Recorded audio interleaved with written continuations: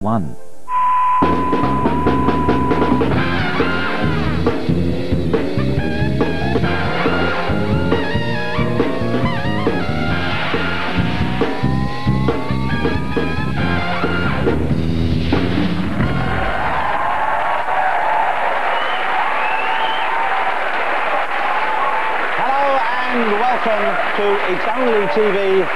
I Like It, the series which is based on an original novel by Jane Austen. Obviously concessions have been made to suit a modern audience, but you'll be glad to know that we're still all wearing very tight breeches. TV, I believe, has been described as the opium of the masses, except of course in Glasgow where opium is still the opium of the masses. Let's now meet the teams. On my left, the team captain who has become known to our viewers as the grumpy one that loses every week, Mr Jack Dee. And joining Jack this week, we have an actor who's smoother than a fox's cravat. Please... Please join me in stretching out the word hello to an improbable length as we welcome Mr Leslie Phillips.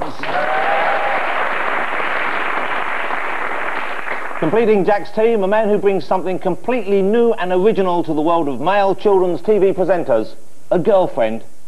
Please welcome.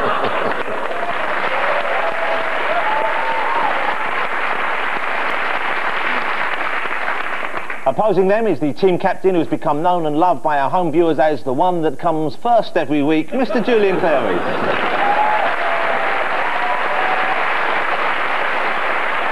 Joining him, someone who is universally acknowledged to be the nicest woman in show business. No one has got a bad word to say against her, unless, of course, she's come round to do their living room. Please welcome Carol Smillie. And completing the team, the most famous and popular ex-EastEnders actor there is. I mean, of course, there's Nick Berry, but uh, I did use the word actor when I introduced him. So please welcome Leslie Grantham.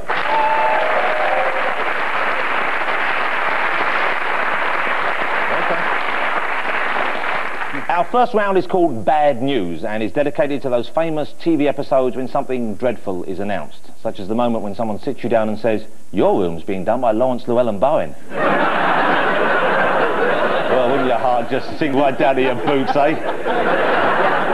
Julian, your team will shortly see a dramatic TV clip taken from a well-known programme. Your job is to speculate what the bad news is likely to be. Your clip is from the recent TV adaptation of Jane Austen's Pride and Prejudice, featuring the lovely Jennifer Ehle as Elizabeth Bennet and the swooningly gorgeous Colin Firth as Mr Darcy.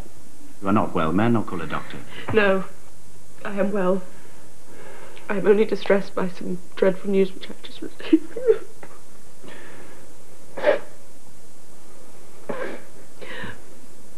I'm sorry, forgive me. No, no. I've just received a letter from Jane with such dreadful news. It cannot be concealed from anyone. So, Julian and T, what do you think the, the dreadful, dreadful news might be? I think she's saying that she's just going to be replaced by Carol Vorderman. Enough is enough. Come on, please. Does that man not understand PMT? Is that what it is, you think? A letter from Jean. Do you know what it means? Is that what it means? Is it like Just saying you've got the painters in? and a letter from Jane, you're not getting any this evening, is that? I think, well, it said it cannot be concealed from anyone. Hmm. So maybe she's pregnant by Mick Jagger. Is it a Lemsip ad? No. As I recall um, from my student days, um, she has, don't tempt me. I think she had a letter, well I know, Yeah. she had a letter from her sister Lydia, I think, who had eloped with somebody unsuitable. Okay. Let's see how close you are. My younger sister has left all her friends, has eloped, has thrown herself into the power of Mr. Wickham.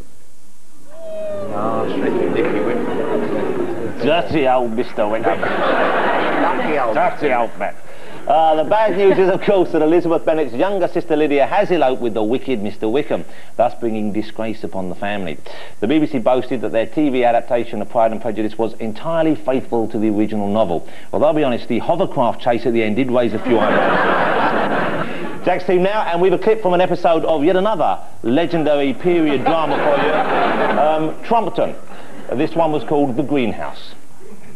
Well, Mr. Troop, everything is going nicely. For the first time ever, we're going to have a flower show without trouble.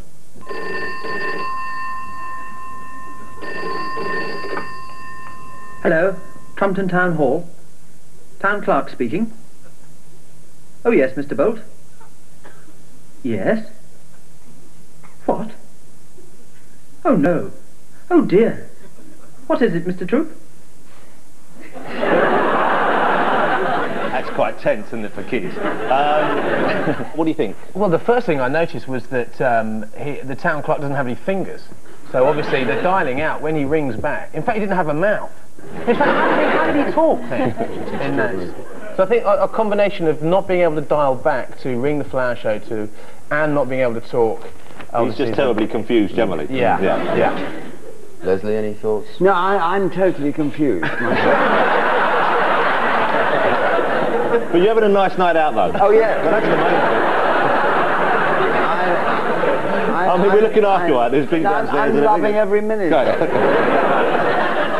Well, there was a clue in it. Is, is The it title was called, let me, this is a clue here, the title was called The Greenhouse. Oh, the greenhouse and the flower show. There's a flower show. So maybe title the, of the greenhouse has in some way become unusable for the flower show. Obviously, comes Just when they were looking forward to a trouble-free flower show for the first time ever. Tragic. It was a bit seedy, wasn't it? I've never known anyone before accuse Trumpton of being... It's all innuendo, though, it is. If you read between the lines, Trumpton is filth. What's your guess going to be? The, the greenhouse is now unusable for the flower show. Well, you could sound a bit happy about it. It'd be bad news. All right, okay. Well, uh, do, do you have anything you'd like to throw in there? Well, I, I think it must be very distressing, as you say, to live in a world where you don't have any fingers. how,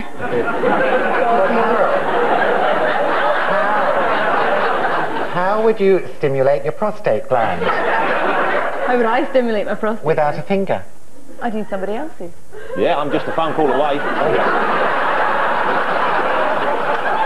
so your answer was, I'm going to take your, your answer was that the, the greenhouse, Greenhouse is in some way imperiled and the, uh, the lovely flower show, perhaps for the first time, might be endangered. Let's see just how close you might be. What is it, Mr. Troop? Mr. Bolt has inspected the chimney of the greenhouse, Your Worship. He says it's unsafe. The public mustn't be allowed anywhere near it.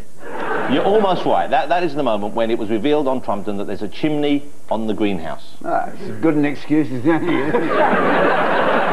I'm going to give you two points for that because once again you were nearly there. At the end of that first round I see that the scores are Jack's team behind with two points, Julian's team ahead but not by too much so don't get downhearted. I have a very good feeling that you might win this evening. Three points to you.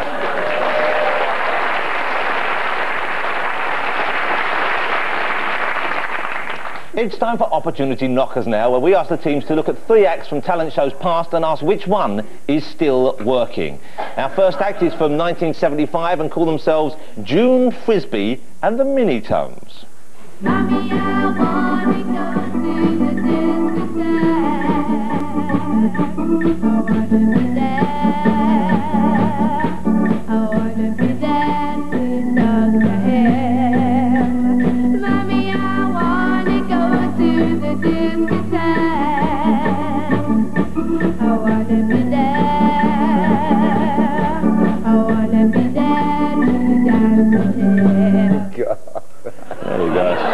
Happy memories, eh, Leslie? Yeah, I wish he'd close that mouth. but That's not the first time you said that. Hello. Some of you girls are bang on for 16. Well, that's the sort of thing you used to say, isn't it? I think you're disgusting.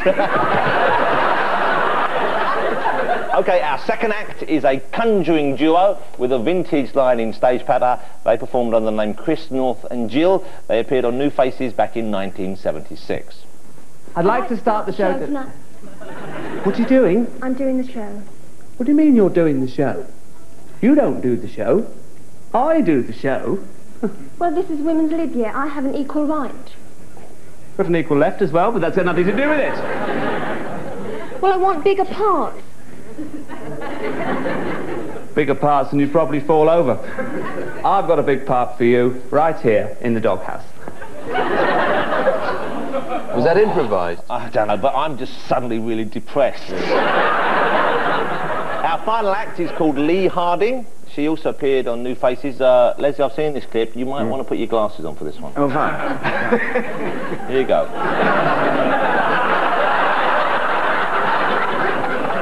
Here you go. This is Lee Harding. She appeared on New Faces in 1976. Oh, my God.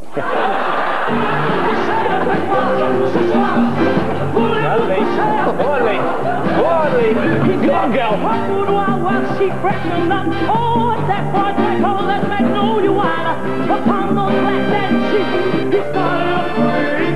Looks like she's been in a fight. but it was, it was hard to get on those shows in those days. Go, Lee.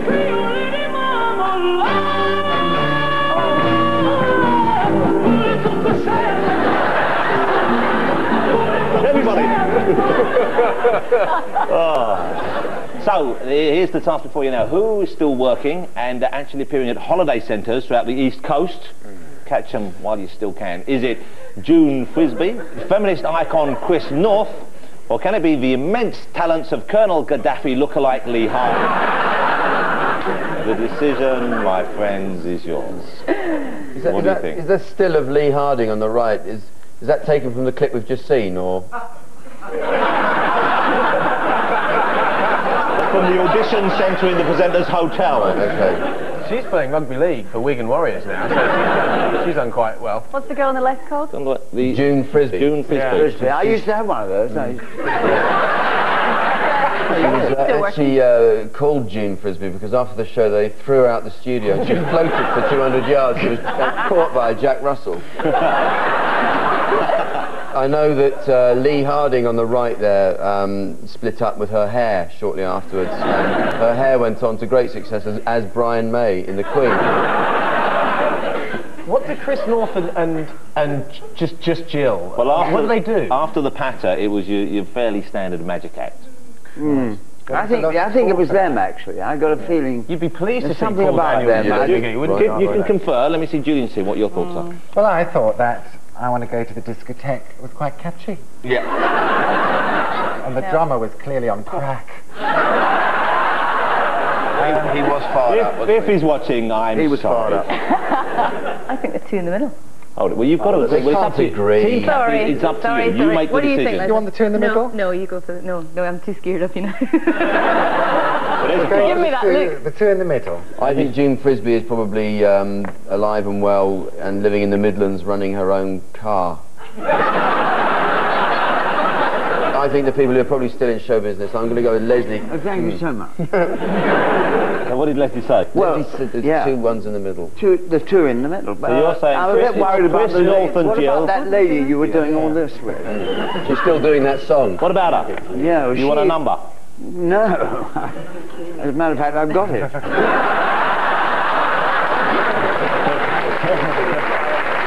Why, why doesn't that surprise me? Okay, so you're both going with Chris North and Jill. Let's see who's right. and who's not? You both are. The answer is Chris North. Oh, well done. He's still working, and I'm delighted to say he sent us this personal message. Hi, Jonathan. I'm Chris North, and yes, I am still in the business.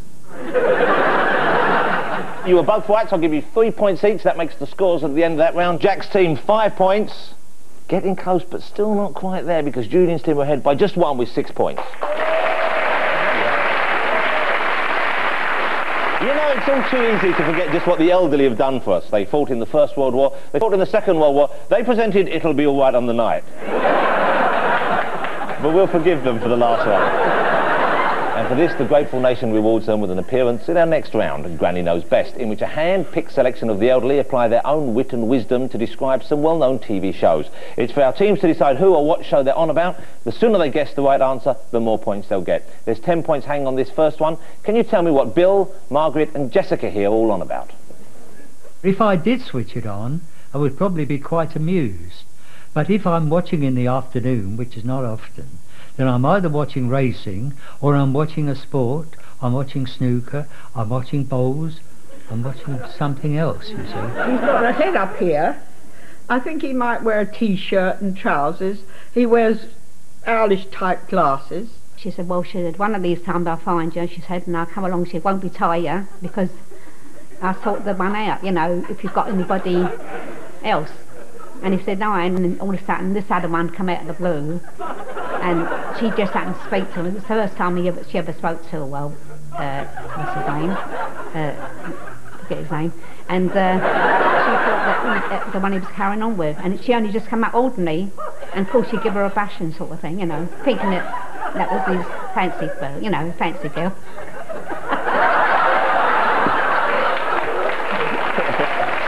yeah. I'll be honest with you, uh, Margaret's my favourite.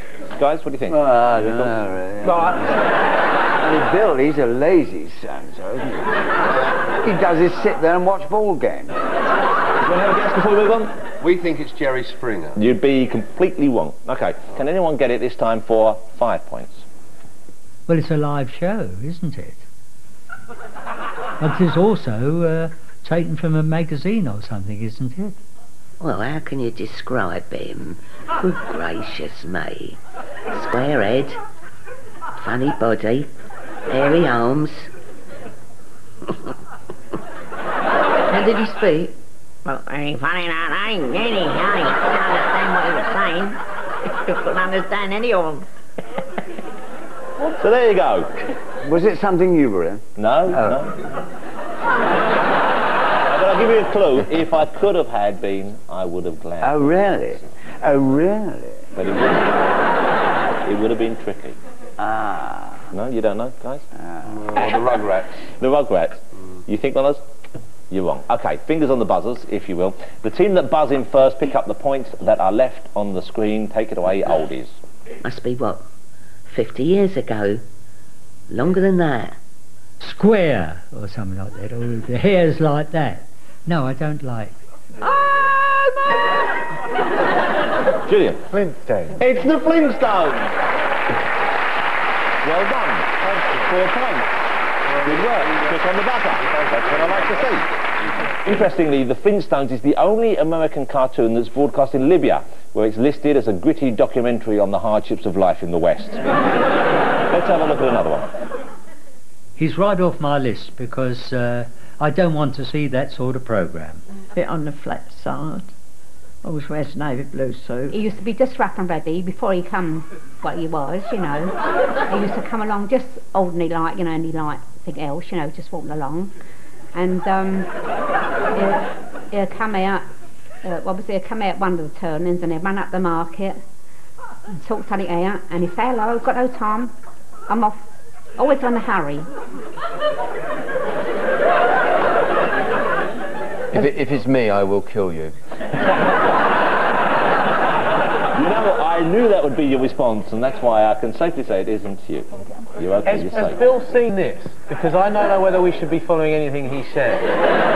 Bill this time is reliable. The, I have noticed that the drugs are kicking in for Margaret. She's become far more lucid. Would you like to hazard a guess? Um, There's no. a couple of clues in there that do make sense. I don't, I don't like hazards. What? He said, would I hazard a guess? Oh. I said, no, I don't like hazards. Not the In fact, I don't like Margaret, Bill or Doris.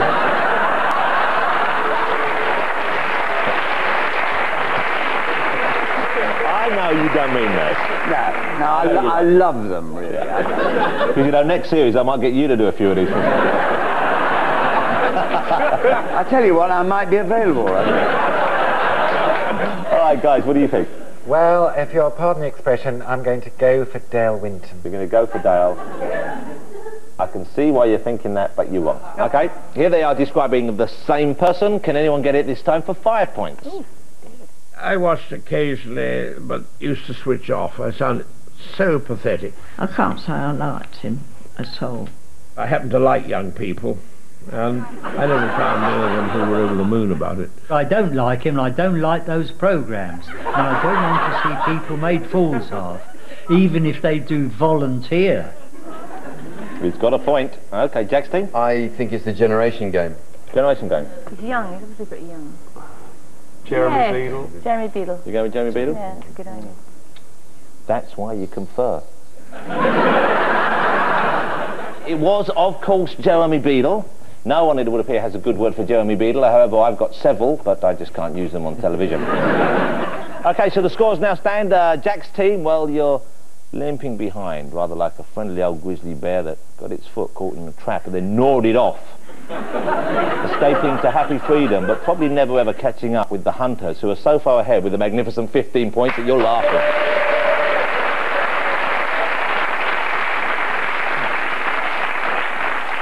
Our next round, channel hopping, features more gratuitous muff shots than you see in an entire episode of The Lakes. And that's because this is the round where we ask our team captains to each don a pair of sound protective earmuffs.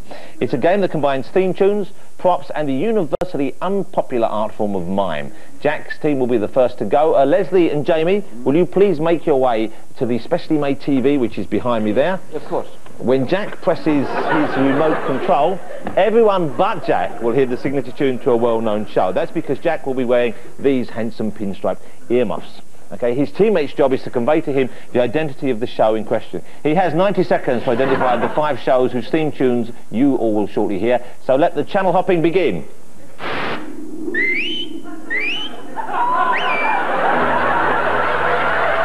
man his dog. One man his dog, right.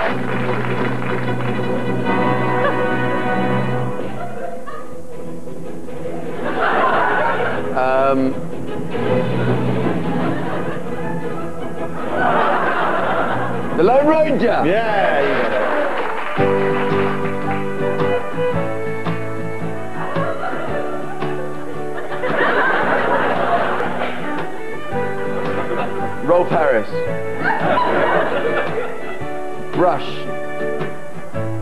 Brush strokes. Yeah, bit of help, bit of...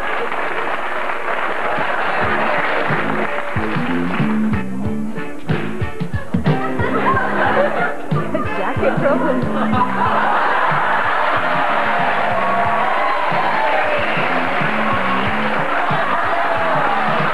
Brain chill.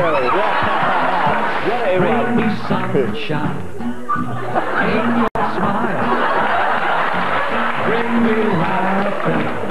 all the while. In this world where we live, there should be more happiness. So much joy you can give to each brand new bright tomorrow. Welcome, Yeah, well done. Five out of a possible five. Well done, Jack. And well done, Leslie and Jamie. Congratulations. Nice work. Well done, Jamie. And while Julian's teammates are making their way to the TV, I can reveal that Jack's team have scored five out of a possible five, so five points for you. Very well done. Okay, Julian, if you'd like to put your head into these beautifully decorated muffs that we have for you there. There's the remote control. So when you're ready, start hopping.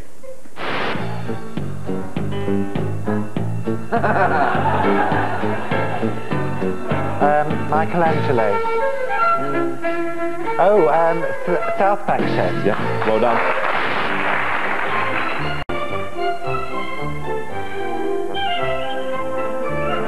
Can't see your head's in the way. Yes? What you doing?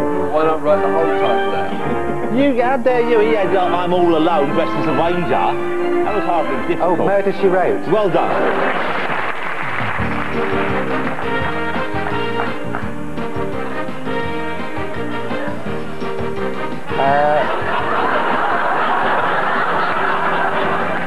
Gentleman's Lavatory.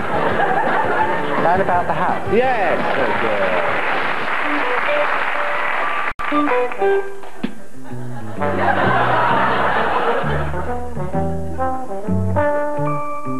Um, steal a lot of teeth. A lot of teeth. Play school.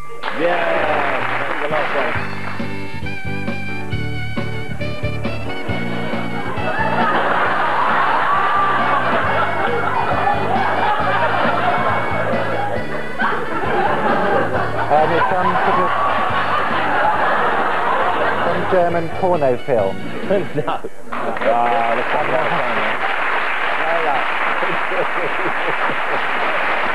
And after all that, Julian has scored four titles, which means, of course, that they have four points. That brings the scores to Jack's team still way behind there with 10 points. Julian's team, a magnificent 19 points.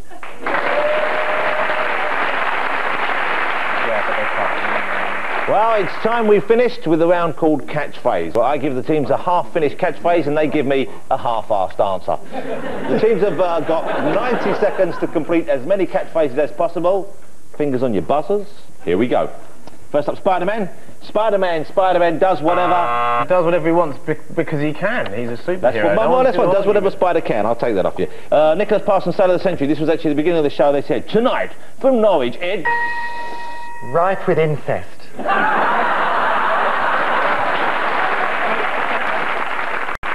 Tonight from Norwich, it's... The M11.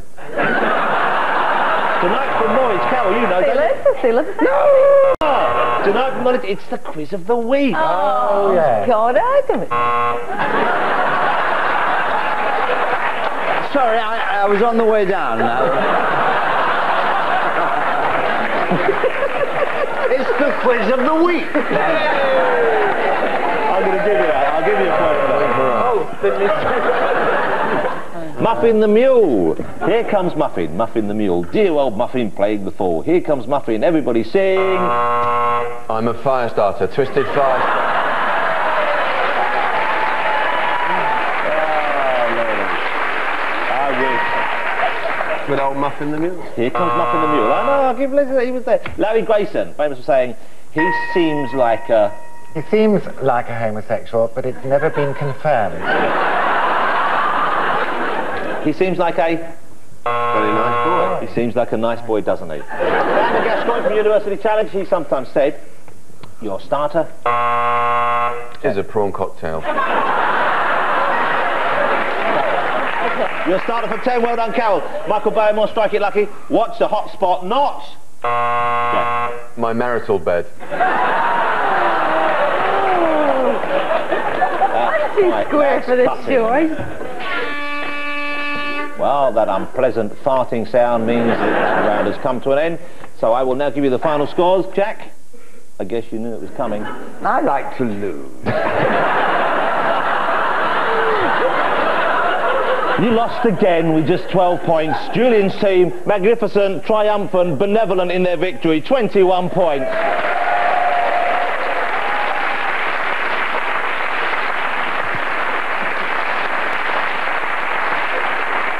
Please note that all the characters in tonight's show were entirely fictitious and any resemblance to real jokes, either living or dead, was entirely coincidental. We leave you with a further invitation to sleep with New Faces runner-up Lee Harding. Enjoy yourselves. Good night.